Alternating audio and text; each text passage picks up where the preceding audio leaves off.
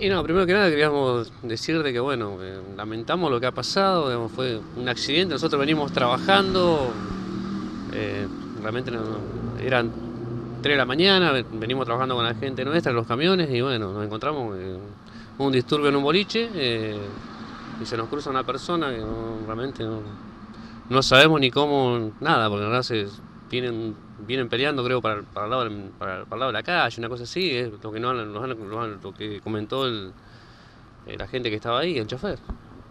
Nosotros lamentamos lo que ha pasado, estamos apoyando a nuestro compañero que está, lo tenemos detenido desde ayer.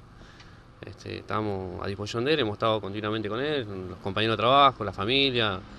Este, le hemos estado dando todo el apoyo necesario que necesitaba para, para, este caso, es la primera vez que nos pasa una situación de esta.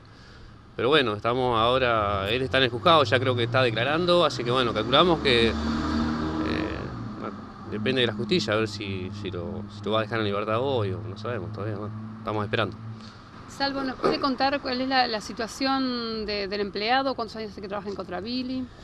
Eh, no, en realidad no es empleado, sino es un asociado de la empresa que trabaja aproximadamente cuatro años con nosotros. Este, que tenemos, bueno, tenemos todo, carnet profesional, todo, un buen, muchacho, un laburante.